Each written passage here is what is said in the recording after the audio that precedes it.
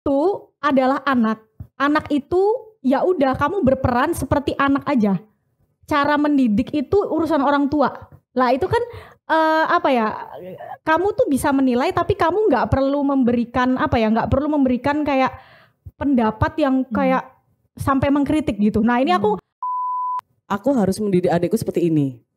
Mendidik maksudnya adalah like kalau aku di posisi adikku, aku harus gini gini gitu loh. Ketika itu kemudian bertentangan 180 derajat sama caranya orang tuaku, em, agak lumayan hurtful karena waktu itu eh, ibuku bilangnya Terus aku ngerasa kayak mereka udah banyak hal yang harus dipikirkan jadi aku nggak berani gitu loh cerita kalau sekarang. Jadi aku akhirnya nulis kan. Nah, iya bener. Kayak ada beberapa kali momen tuh ternyata tulisanku tuh dilihat sama ibu bapakku. Terus habis gitu kayak di komen yang terakhir tuh kayak kamu kamu jangan takut. Kamu jangan takut jalan sendirian gini-gini soalnya kan sedih masih- banget. maksudnya kamu tuh masih punya orang tua kamu bisa cerita sama orang tuamu. Kayak kamu loh sekarang udah nggak pernah kayak gini gini gini gini. Emang mama sama papa itu mau anggap apa? Kayak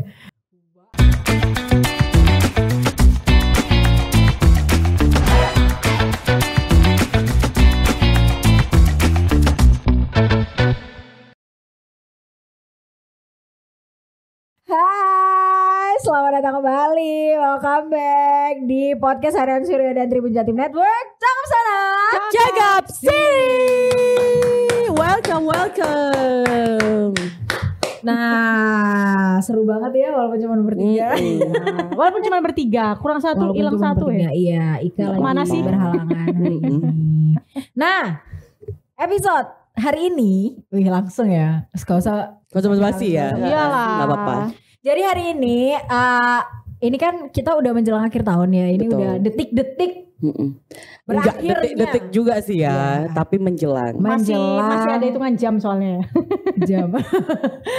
Menjelang akhir tahun 2022 biasanya kita akan flashback lagi sepanjang tahun 2022 itu kita udah ngapain aja sih Betul. pencapaian apa aja yang udah Mm-mm. kita lakukan di tahun ini. Nah, kalau teman-teman apa nih pencapaian? Langsung merenung. Iya, langsung merenung apa ya? Gue ngapain? Em, Bangun. Kok kayak udah lewat gitu. Iya. Perasaan kemarin baru 2020, kok udah Eh, eh. 2022. Oh, 2021 kok skip? Iya, kayak skip skip semua ya.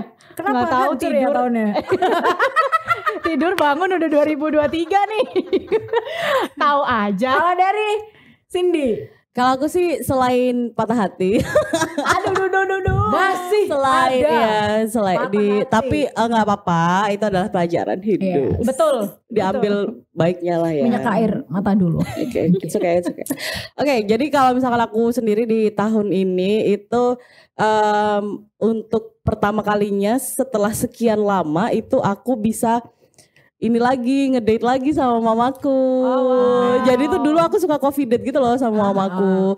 Cuman eh, memang beberapa apa ya even kayaknya tahun ini itu baru aku nggak ingat lagi maksudnya udah dulu sering kemudian sempet enggak Mhm. kemudian begitu lagi gitu jadi aku ada kesenangan sih di situ karena bisa ngomong deep talk juga sama mama juga itu sih mungkin terdengar sangat sepele ya tapi aku suka banget Itu nggak sepele sih. Soalnya eh, aku juga ngalamin. oh iya kamu juga Apalagi apalagi kalau kalian terbiasa untuk nyeritain apa pun, ngobrol Right, apa pun sama iya. orang tua. Mhm. sih. Nah itu kalau aku masalahnya justru itu aku kayak tidak terbiasa untuk cerita jadi malah menurut aku pencapaian banget ketika aku bisa bercerita Hmm, gitu. benar, dan benar, tahun benar. ini ya bener banget. Aku baru keinget juga gara-gara Cindy tadi. Mm-mm, iya. Ini apa sih? Heeh. aku langsung kayak aku gara-gara Cindy tadi langsung keinget. Kalau aku tuh eh, waktu itu juga eh, sempet merasakan kok nggak bisa ngobrol banyak. Dan tahun ini puji Tuhan aku ngobrol Hmm, gitu.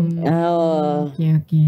Ini kenapa kita jadi kebetulan sama semua ya? Oh, iya, kamu juga tentang keluarga juga. Aku juga jadi bisa, maksudnya sebenarnya tetap ngobrol sih. Cuman aku beberapa kali itu justru aku, aku yang menghindari obrolan-obrolan apa ya? Bukan Deep. berat sih, iya deep. Hmm. Deep obrolan-obrolan deep sama eh, ibu bapakku karena apa ya? Aku merasa aku aku eh, nggak perlu nambahi nambah nambahi cerita dulu rek kayak gitu loh. Ah. Mungkin mereka mungkin mungkin ya akhirnya ngerasanya bahwa mungkin mereka sudah punya masalah masing-masing Ah, ah, ah, ah, ah. Jadi, sehingga aku merasa eh, nggak usah lah ya udahlah nggak apa-apa kok orang aku bisa gitu Hmm, hmm. maksudnya tapi ternyata nggak nggak bisa gitu jadi Hmm. ketika ibuku buka obrolan jedes langsung membek membek welek kabeh rupaku iya iya iya iya tapi tapi kalau aku ngelihat kayaknya sama ya ininya ya Iya, nah, bener. ya selain karena permas eh, permasalahan iya Kayak selain modelnya sama deh pencapaian tadi ternyata kita punya satu kesamaan yang lain betul. Nah ini juga yang akan menjadi topik obrolan kita pada podcast episode kali ini. Ah. Apa itu? Bisa menebak? Nggak bisa ya udah aku yang ngomong. Jadi episode kita pada hari ini adalah membahas mengenai apa ya? gak, gak bisa bahasa Inggrisnya. The eldest Nah, daughters, the oke. firstborn Firstborn daughters. Jadi ini daughters. spesifik pe- Heeh. uh, anak pertama perempuan. Right? Iya. Kebetulan sekali kita sama-sama anak pertama, pertama, ya. sama-sama perempuan Boleh ya, setauku. Setauku. Setauku ya. Oke, kalau ngomongin tentang anak anak perempuan pertama itu sebenarnya ada banyak sekali. Kalau misalkan kalian kita lihat di media sosial Mm-mm. juga ada banyak sekali yang membahas juga bahwa seberat itu menjadi anak, Anak pertama pertama perempuan gitu kan sampai eh, ibu aku tuh teringat sekali sama lagunya si Kunto Aji kan ada sulung gitu. Ah. itu juga kan ada satu satu bait lagunya dia yang paling akhir itu yang em, apa bunyinya gini intinya. Nggak dinyanyiin ya soalnya copyright. Nggak apa-apa. karena suaraku jelek. Yang seharusnya tetap dinyanyiin emang nggak bisa Nggak emang nggak bisa. Nggak bisa. mari ibu sini ini biduan kita ini. Susah emang. Yang seharusnya kau jaga adalah dirimu sendiri. Ih, langsung berbes mili Enggak karena memang eh, secara udah bukan apa ya udah bukan rahasia lagi bahwa anak perempuan pertama itu hmm, Ngeri-ngeri cukup sedap. lumayan ya Ngeri-ngeri sedap. lumayan menjadi yang pertama kakak pertama Yap. menjadi eh, apa ya perisai Hmm, untuk iya. keluarga sejujurnya Iya. Tapi BTW eh, ada akan ada perbedaan gak sih budaya juga? Kalau menurut kalian di luar negeri. gitu. Ha-ha, kayak misalnya anak perempuan pertama di Indonesia nih katakanlah sama Ah. di barat gitu. Kayaknya kan ada perbedaan Aku nggak budaya. tahu ya kalau kalau di barat, tapi kalau mungkin sesama negara Asia Aha. Akan sama. masih Bener sih. sama. Benar sih. mungkin kalau di barat akan berbeda juga ya karena Mhm. pola didiknya juga Ah, kan ah, berbeda gitu juga berbeda. Betul betul Gitu. betul. Nah, Tapi So- tetap aja ya hard gitu, life hard life Hard, gitu loh. Iya, bener-bener. tough lah, Iya. tough lah ya. Yo bahasa Inggrisnya mungkin tatak lah ya. tatak lah anda ya. hati. Iya lagi Iya. lagi. Nyanyi mana? anjing. Biduan kapan? Ini kayak konser ya, bukan podcast ya. Tapi ngomongin soal anak pertama, Mhm. eh, anak perempuan pertama. Boleh gak sih aku nanya soal aduh, takut aku. Boleh gak sih aku nanya soal eh, apa aja sih yang udah kalian laluin? M- eh, mungkin kalian bisa sebutkan satu momen ketika kalian merasa wah anjrot momen ini Susah ya jadi anak pertama gitu. kok kok gini ya kok susah ya kok gimana nih jalan keluarnya Sebenarnya banyak banget, cuman kayak yang mana gitu kan, Ya. kepilih juga. Iya bener-bener. Mungkin Yang mana dari siapa nih dari siapa nih nggak ada yang siap Nggak ada yang siap. susah banget nih Ini lagi mikir nih soalnya momennya apa gitu kan. Ya rada takut juga bener Akira tadi, agak takut karena mungkin ini hal yang sensitif. Mungkin kita bisa menangis di sini. Iya. Kok Karena jadi menangis? Dan dan kalaupun nanti uh, ada yang menyinggung atau apa, maksudnya ini adalah sudut pandang dari anak perempuan pertama yang kita jalani. Jadi kita nggak mengeneralisasi ya, tidak semua anak perempuan pertama itu seperti ini juga. Enggak, ini benar-benar based on our true story gitu loh, our experience Mm-mm. sebagai anak perempuan Oke, pertama. tapi gitu. sebelumnya aku boleh tanya nggak kalau misal dari Cindy atau dari eh, Andra Mm-mm. anak pertama adik-adiknya tuh cowok cewek atau cewek cewek atau cowok cowok Kalau aku gimana? adik cowok satu, cewek satu. Adik cowok satu, cewek satu. Kalau Cindy, Aku adik cowok satu. adik cowok satu. Ini lebih tough loh. Adiknya cek cowok dua. Adik cowok dua. adik cowok dua. Berarti ini kita bervariasi nih Ah, pengalamannya betul. kita bisa sharing nih. Tapi kita kebanyakan adik cowok. Ah, ah, Mm-mm. adik Pasti pertama ada langsung experience cowok. sama adik cowok ya. Ah, langsung cowok. Kalau misal sama adik cowok, eh, ap- apa experience yang bisa kalian share di sini? Adik cowok. adik cowok. Atau aku mungkin aku Boleh, Boleh, boleh. Akhirnya dulu. dulu. Coba. Kalau ah jadi begini.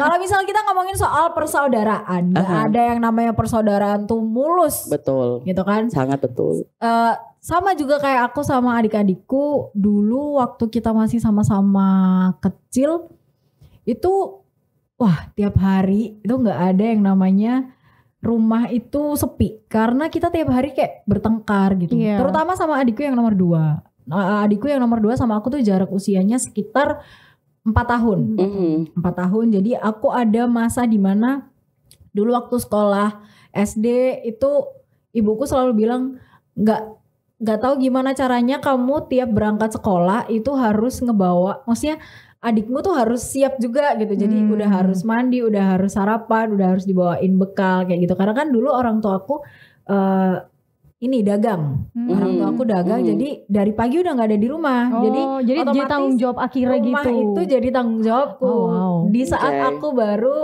eh, kelas 5 SD Hmm. Oke. kelas 5 SD dulu tuh emang aku ngerasa kayak eh, susah ya maksudnya eh, anak-anak lain yang seusia sama aku itu mereka bangun pagi ya udah bangun terus Mhm. disiapin Mhm. terus tinggal berangkat nah ini justru kebalikannya di waktu itu emang ben- emang kayak ngerasa kok aku gini sih tapi kemudian aku merasa ketika udah dewasa ketika udah gede aku merasa kayak oh ya sebenarnya nggak eh, nggak nggak sia-sia juga gitu. Dulu di diminta untuk nyiapin ini nyiapin itu harus bisa bertanggung jawab sama rumah.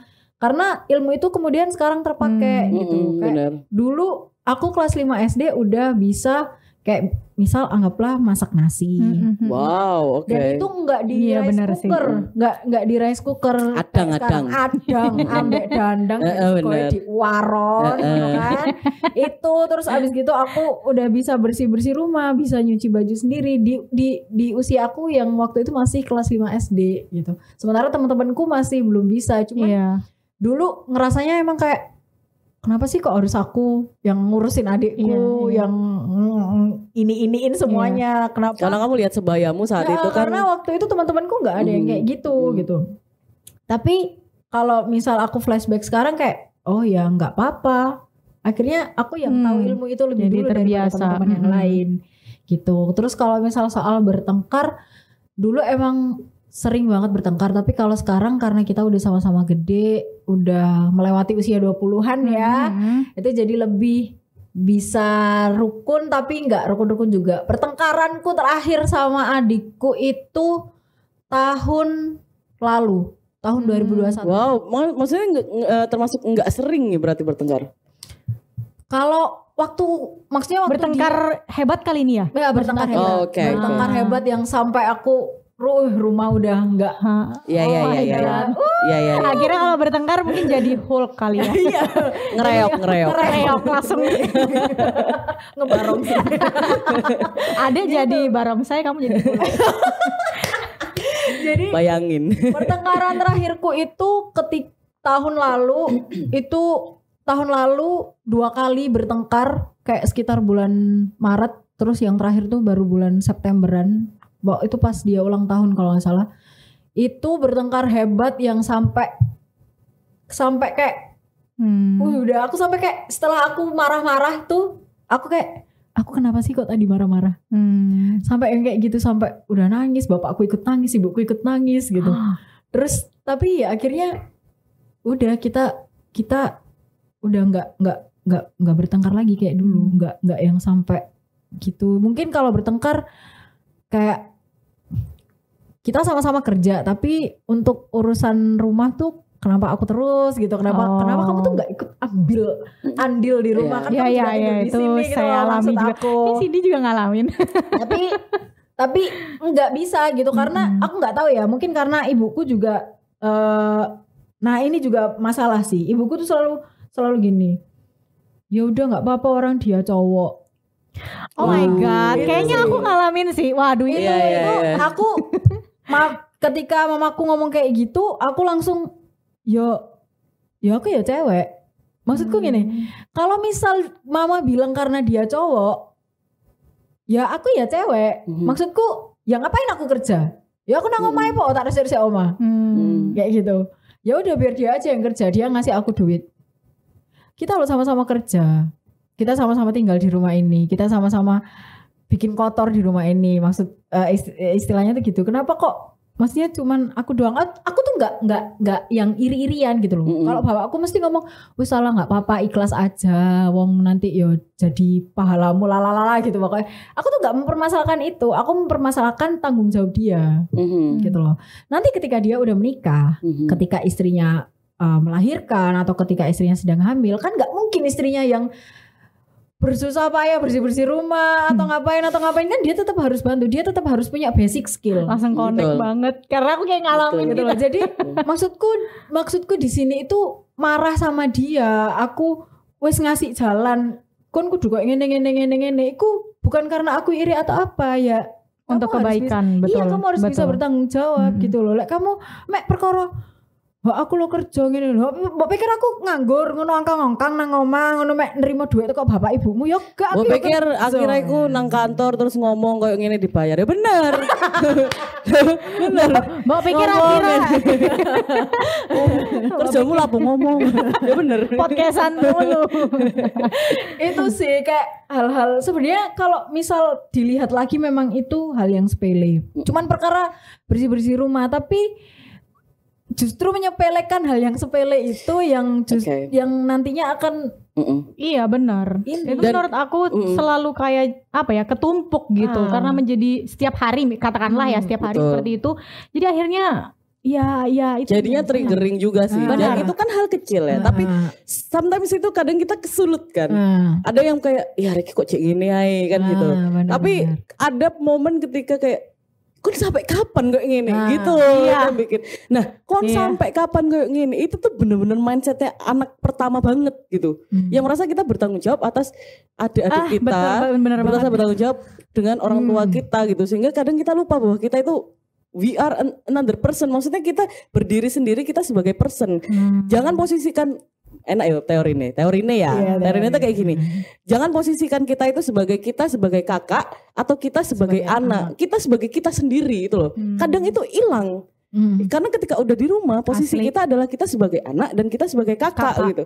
Kita di mana aslinya? Iya benar. Krisis Iya identitas. benar. jadi jadi nggak menemukan aku bahkan sampai di titik aku tuh tidak tahu apa yang aku mau.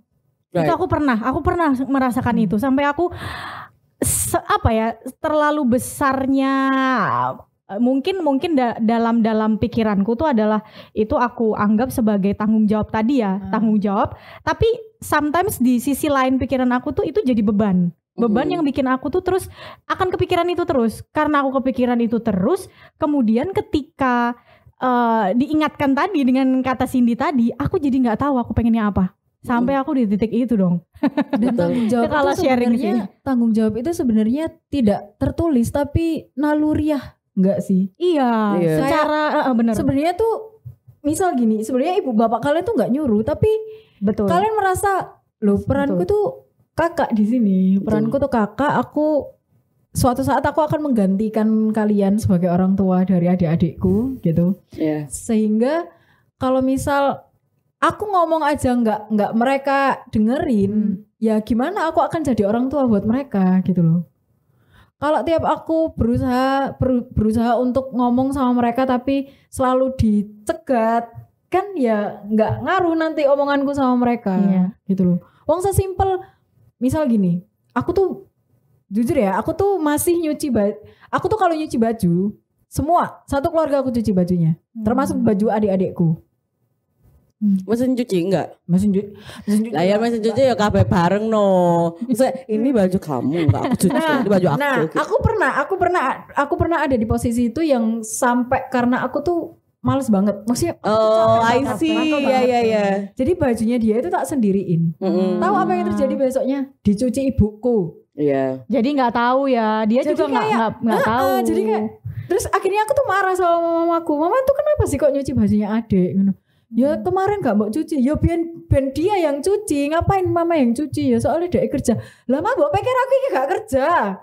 Jadi kayak Iya, jadi iya, iya. perang sendiri sama ibu. Tapi aku tanya ya Kira, pernah nggak diskusi itu sama orang tua? Kemudian apa gitu responnya orang tua? Ketika Ya, ketika ketika di disampaikan kamu nyampaikan ya curhatanmu dan segala macam tentang adikmu itu, kemudian apa responnya mereka? Ya itu jawaban bapakku. Bapakku bilang ya ya wes lah gak usah iri-irian wis Hmm, berarti sama. aja. Kayak men Kalau kalau kalau di di men, cerita aku ya, di cerita aku sorry tadi aku Hmm. jadi langsung keinget gitu. Eh yang aku tangkap malah justru orang tua, orang tua itu ketika disampaikan seperti itu, waktu itu bapak ibuku tuh ngomong ke aku bahwa mereka itu kurang setuju dengan kritik yang aku sampaikan. Iya. Cara Nah. kita. Iya, cara Hmm. kita ngomong ke mereka bahwa bahwa ini loh adik tuh seperti ini gitu kan. Ini Hmm. tuh maksudnya gini, eh, aku bukan bukan iri bukan, tapi kalau ini diteruskan terus Betul. menjadi kebiasaan, dia Hmm. nanti seperti apa ketika bapak ibu sudah meninggal? Betul. Nah. ya Tuhan maksudnya itu tuh bener-bener intinya tuh gini. Nah. Itu sama semua. kita. Iya, tapi waktu itu jawaban bapak ibuku tuh seperti ini guys. Eh, jadi ibu bapakku tuh ngomongnya gini, "Eh, kamu itu adalah anak. Anak itu ya udah kamu berperan seperti anak aja. Cara mendidik itu urusan orang tua. Lah itu kan eh, apa ya? Kamu tuh bisa menilai, tapi kamu nggak perlu memberikan apa ya? Nggak perlu memberikan kayak pendapat yang kayak sampai mengkritik gitu. Nah ini aku mungkin ini out out of topic karena kan i- ibu bapakku kan mungkin beda, maksudnya beda dengan ibu bapak kalian gitu kan. Cuman kalau Ya karakternya, iyalah. karakternya, Lah sama Bukan ya. mungkin itu, itu benar-benar. Saudara. karakter maksudnya, sepersusuan. Kayak Jojo Sojejen. Lu awas. karakter karakter ibu bapakku itu kemudian kayak gitu ke aku. Dan gara-gara itu terus aku langsung mikir di situ. Wow, wow, berarti kayak gini tuh aku nih harus apa gitu. Mm-mm. Aku dianggap apa, aku harus apa. Kemudian kalau bapak ibu misalnya, ya ampun Jokan Bala ya meninggal dunia. Terus seperti apa nanti adik-adik itu kan aku yang ngurus gitu. Maksudnya paling nggak kita ada bertanggung jawab ke mereka gitu kan. Itu yang sampai sekarang tuh sebenarnya aku masih bergumul sama itu sih guys. Orang belum apa-apa gitu. wes di sesuk kalau nganu ya adik titip adik ojo bertengkar ae. Kan saiki si ono ae omonganku kan. kan. benar benar benar. itu itu sama juga sih. Iya Aku kan, pernah dapat itu berarti juga, ya. betul. Jadi em, ada konflik besar lah waktu itu ya sama adik juga.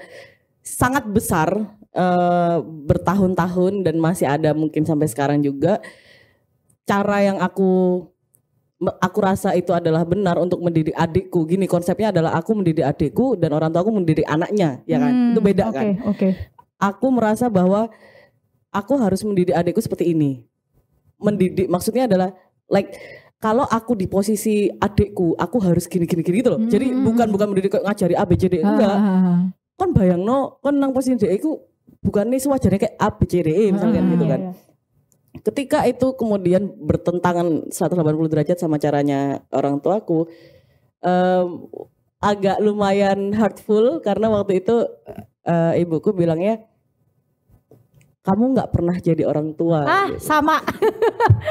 Oke. dan em, itu udah obrolan berkali-kali sampai mungkin itu puncaknya dia karena nggak ngerti lagi ini kok anakku mek loro kan aku di caseku adalah cuma dua anak ya anakku loro kok bertengkarnya aku cukup lumayan sering soalnya bertengkar terus mungkin itu puncaknya ibuku bahwa merasa bahwa intinya dia mungkin ya merasanya itu pertengkaran ini terjadi karena aku ikut di dalamnya gitu loh Hmm. yang mana karena aku ngerasa bahwa ini nek benar sama kayak kalian kalau misalkan ini di Jarno arek iki ke depannya Hmm. gimana gitu aku uh, aku pribadi mikirnya bukan ke kalau misalkan bapak ibu nggak ada ya yang naujubillah min dalit ya cuman aku mikirnya adalah dia laki-laki Hmm. one day dia akan memiliki keluarga Hmm. what would happen with him his family gitu nantinya Hmm. gitu aku mikirnya kayak gitu sehingga eh, waktu ad- ibuku ada keluar kata itu aku langsung oke that's um, the line Iya. aku gitu Iya. oke mulai sekarang eh aku draw the line gitu Iya, iya. bahwa ya udah ini anaknya Nah iya itu. Mm, Aku sehingga aku di titik itu juga tapi nggak tahu kenapa rasanya tuh nggak bisa menahan emosi gitu loh Sin. Kayak ya, gitu. Benar benar benar. Wow. Sangat menghabiskan energi ya. sumpah ya Nah, Sumpah ya. tapi untungnya tuh aku ada adikku yang terakhir. Jadi berarti aku harus ada terakhir kan maksudku adalah dia itu ya ya ya aku paham semua anak tuh pasti punya karakter yang berbeda-beda termasuk aku adikku yang nomor dua dan adikku yang terakhir nah kalau sama adikku yang terakhir itu dia bisa aku ajak ngobrol. Maksudnya gini loh kalau misal aku minta kamu kayak gini tuh supaya kamu kayak gini. Terserah kamu punya pilihan ini dan ini. Kalau pilihan yang ini tuh nanti ujungnya kayak gini kalau pilihan yang ini tuh ujungnya kayak gini. Terus dia oh ya udah berarti aku pilih yang ujungnya baik. Misal dia kayak gitu. Hmm. terus dia tuh juga sering maksudnya kalau untuk urusan di rumah dia tuh lebih sering bantu daripada adikku yang nomor Hmm. dua. Jadi ketika aku emosi banget sama adikku yang nomor dua itu ada adikku yang nomor tiga kayak Hmm. ya udah kak tak bantu Ini lucu ya tapi maksudnya Akira malah justru adik bungsunya. Hmm. Kalau aku tuh adik bungsu aku. Gitu.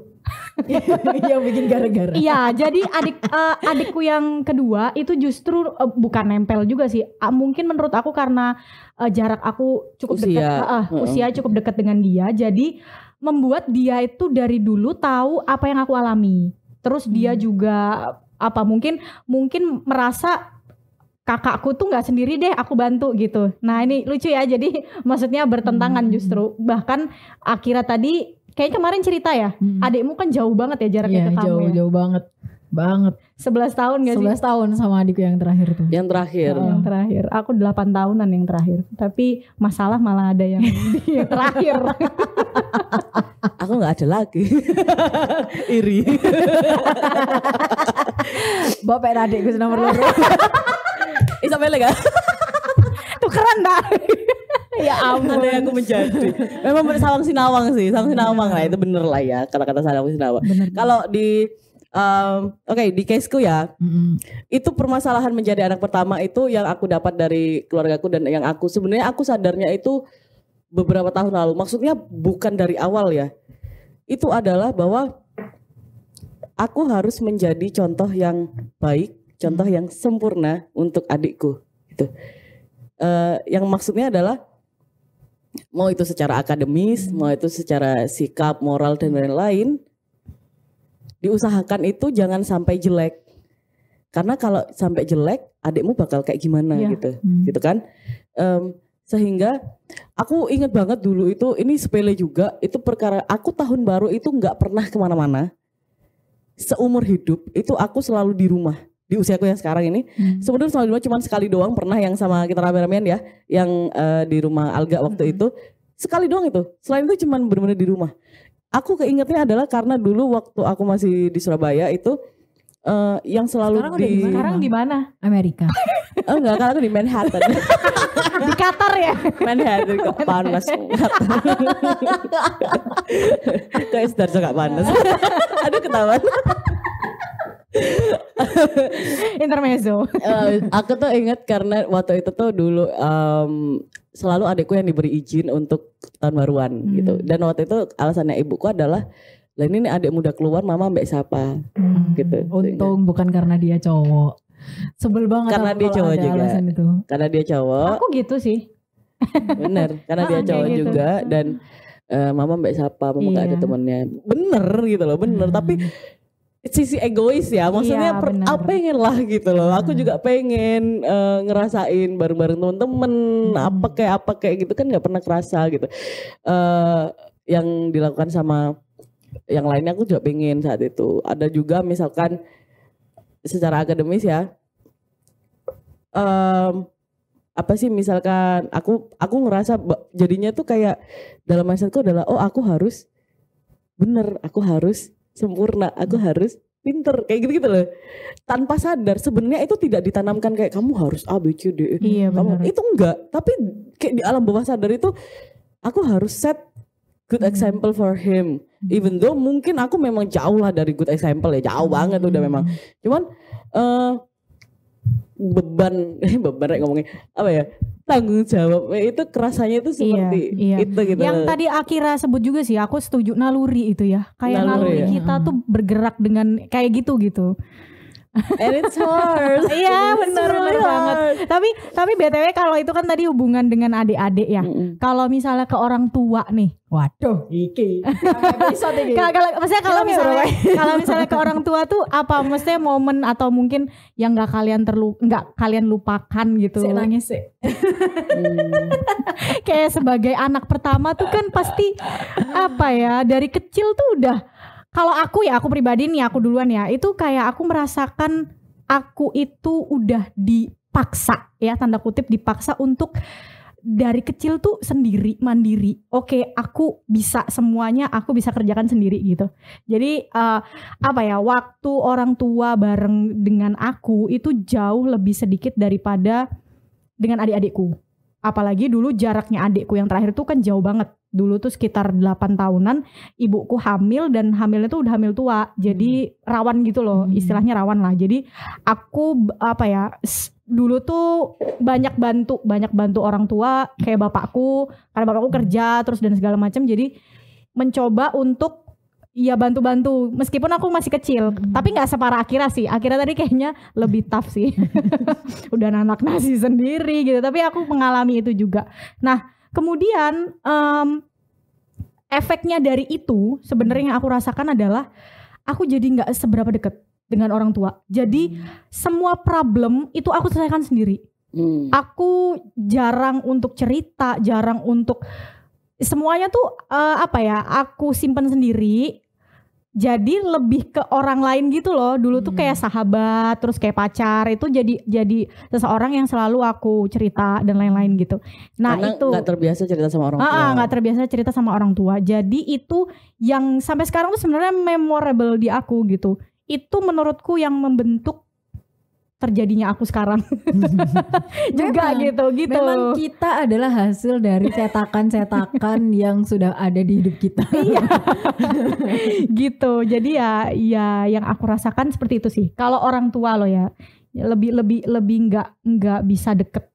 Lebih nggak bisa. Tapi nah itu dia makanya jadi achievement aku tahun ini aku bisa lebih dekat dengan orang tua tuh menurut aku besar gitu. Mhm. Jadi bukan hal yang sepele menurut aku.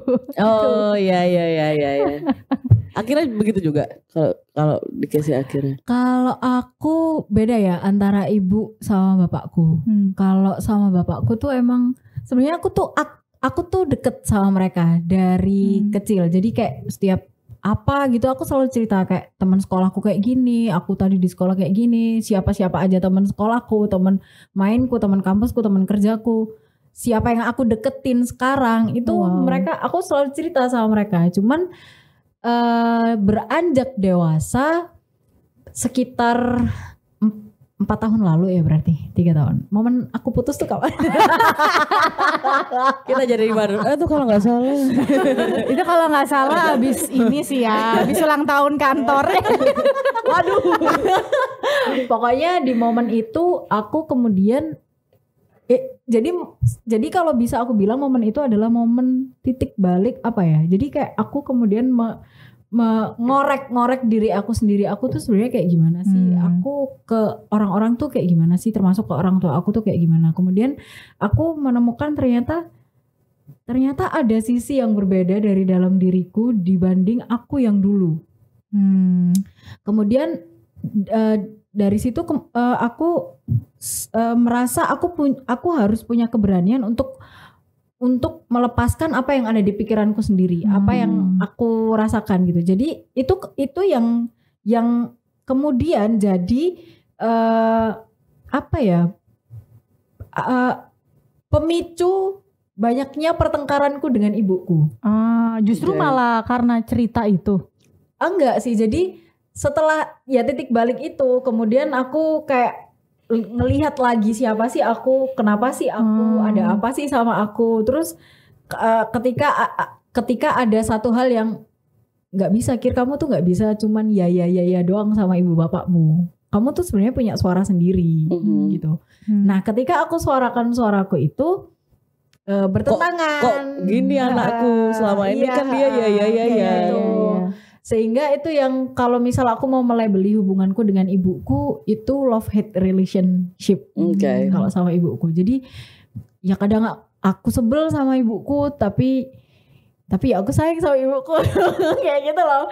Jadi Ya ya I know. Ja- jadi kayak misal kalau udah bertengkar bertengkar hebat banget tuh aku yang jadi udahlah aku keluar dulu atau Iya. aku ke kamar nggak keluar keluar atau kalau misal yang sampai parah tuh aku yang keluar dari rumah maksudnya Kak, Oh. aku ke tinggal ke teman aku atau ke siapa gitu Su- supaya karena kan orang tuh kalau lagi mendidih ya Iya. Mhm, itu kan betul. pasti omongannya yang keluar Iya, dari mulut kan iya. udah Jelek. jelek-jelek nah Iya. aku tahu aku aku kalau marah akan kayak gitu gitu Hmm. jadi aku ambil waktu dulu supaya aku nggak nggak meledak-ledak gitu loh karena ya karena gimana gimana aku tetap anak dan ibuku tetap ibuku gitu tetap ada apa ya istilahnya kayak ya ya durhaka gitu loh Mm-mm. kayak gitu loh itu Jangan sampai durhaka. Ah, jangan sampai durhaka. Makanya s- kalau sama ibuku tuh bahkan sampai sekarang tuh masih kayak yang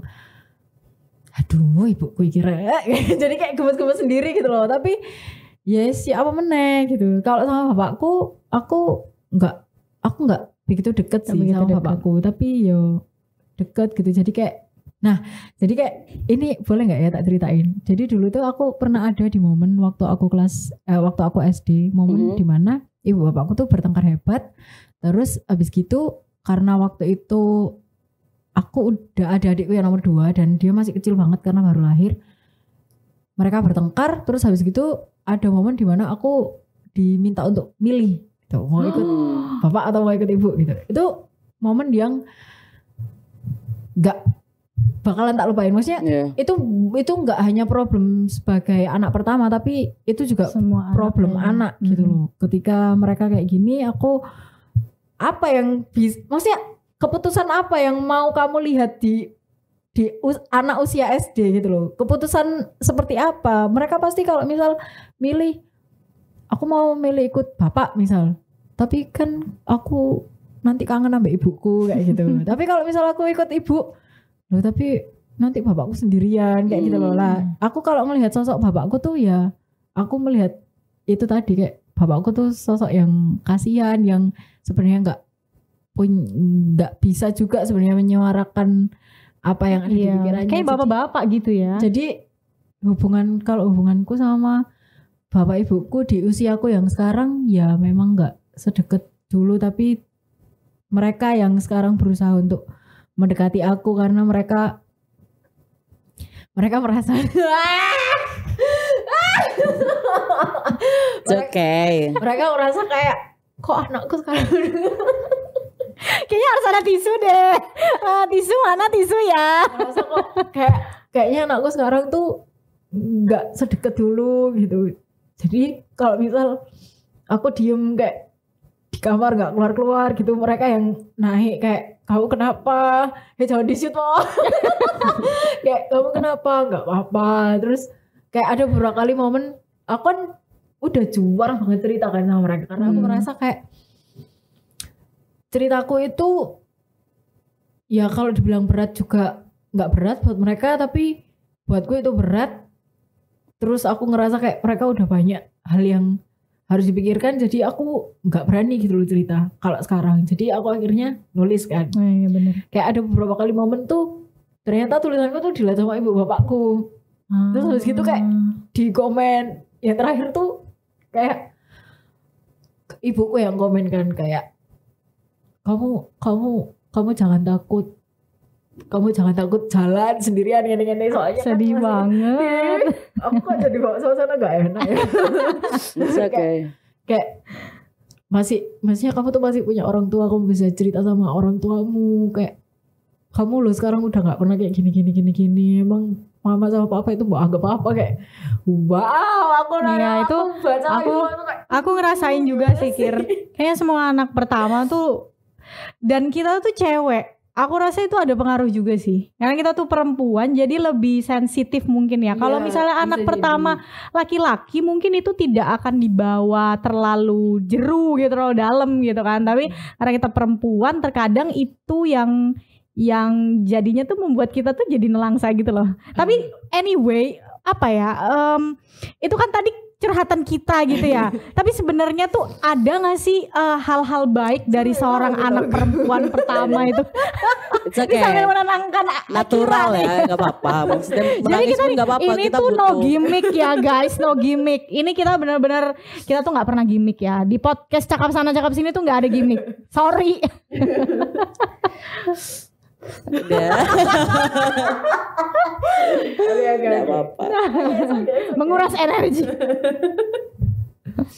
Kalau misalkan em, itu tadi dari pengalaman-pengalaman kita Ya, yang mestinya ada lah, lah ya yang baik gitu Sin. Apa tuh? Uh, ya, dan ini tuh ini ini sudah ada dalam sebuah buku guys. Jadi ada buku namanya The Birth Order Book, Why You Are the Way You Are, karya Kevin Lehman uh, ke terbit di tahun 2009 gitu.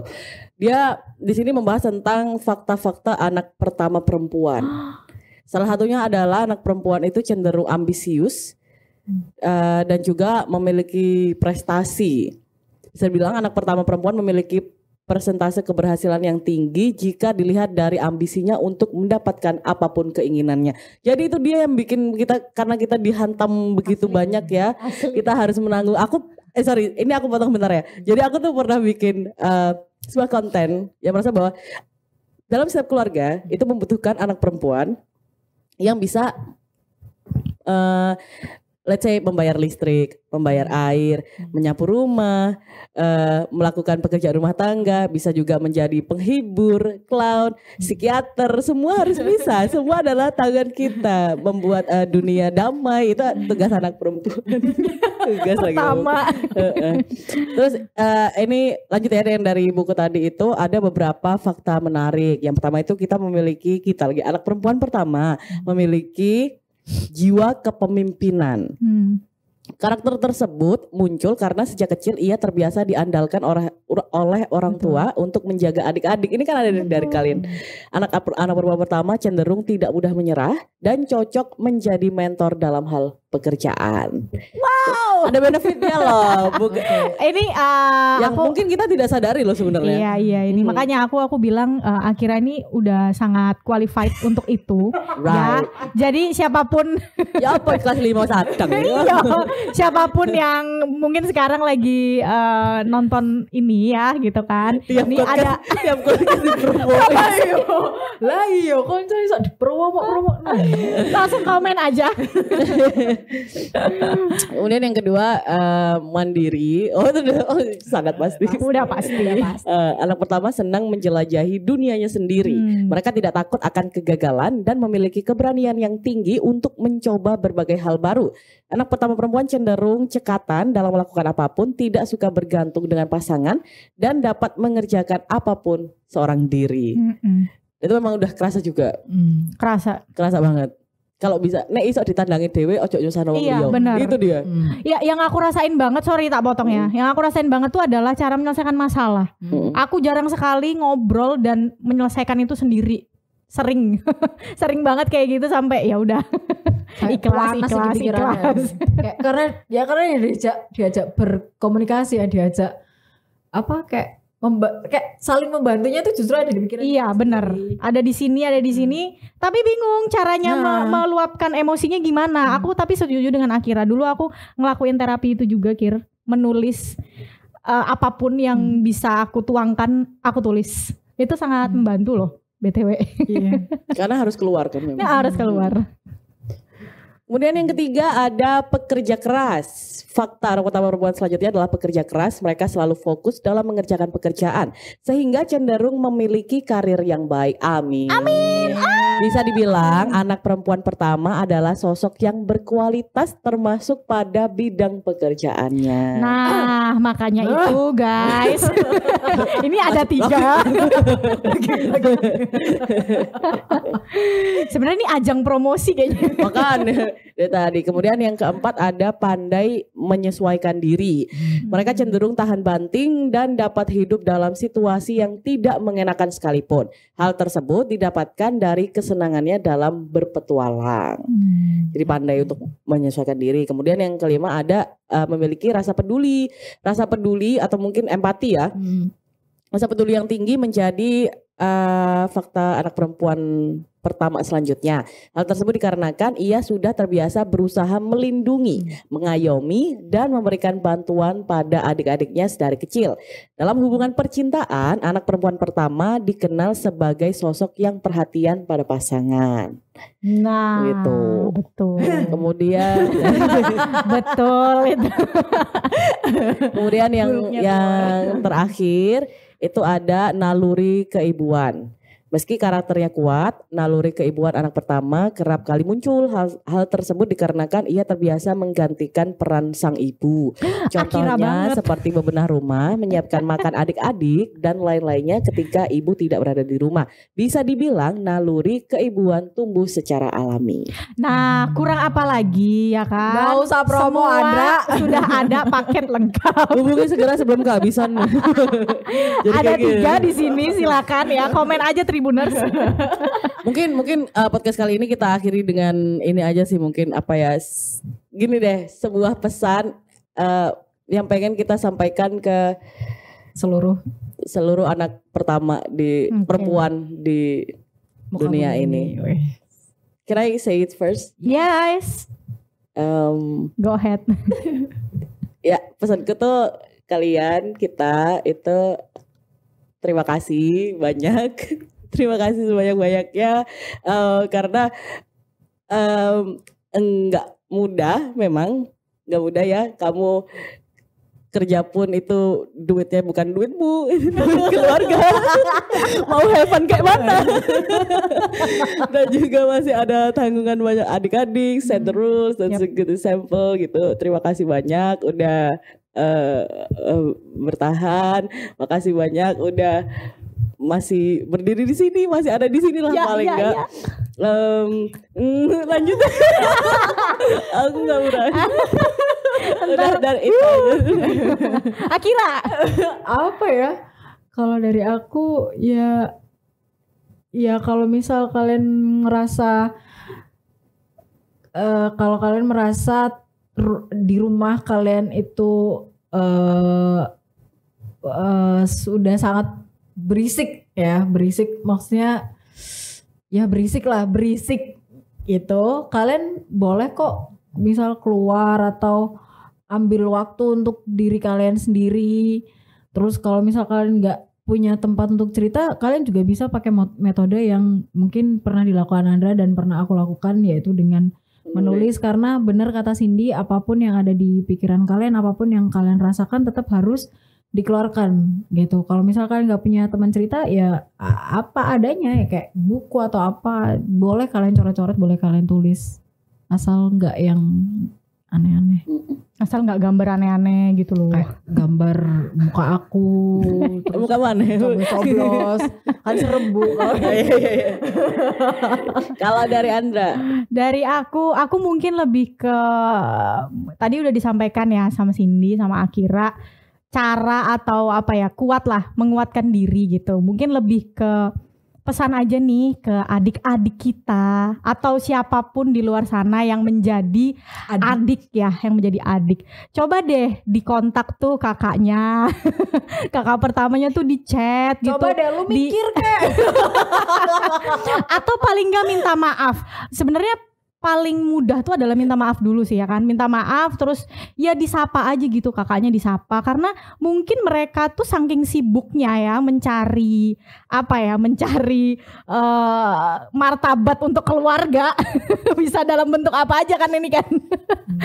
Itu sampai mereka tuh lupa gitu dengan dirinya sendiri tuh lupa gitu. Jadi mungkin buat adik-adik di luar sana tuh yang mungkin menjadi adik itu coba deh chat kakaknya kemudian coba apa ya nyapa lah paling nggak atau paling gampang tuh kalau kakaknya pulang peluk aja deh Eh, Kayaknya udah gak mungkin. langsung nangis Tapi semua di sini. Ya, nanti dicoba aja. Nanti dicoba aja ya. Untuk adik aku juga ya. Tolong nanti dilihat ini. Tolong ini harus segera rilis. gitu. Berat sekali ya. Iya. Gak, Ini gak ini ya. Energinya anu ya terkuras ini. Oke deh kalau gitu. Ini akhirnya kayaknya nggak bisa menutup, Menutup gitu ya. kan. Mari Diwakilin saya Andra. tutup aja gitu. Jadi untuk Tribuner semua makasih ya udah nonton eh, episode hari ini. Kita sudah bernangis-nangis ria dan bertertawa Ayo ria. Kira, closing closing. Ya sampai jumpa minggu depan di sana, cakep sini. Terima kasih. Dadah.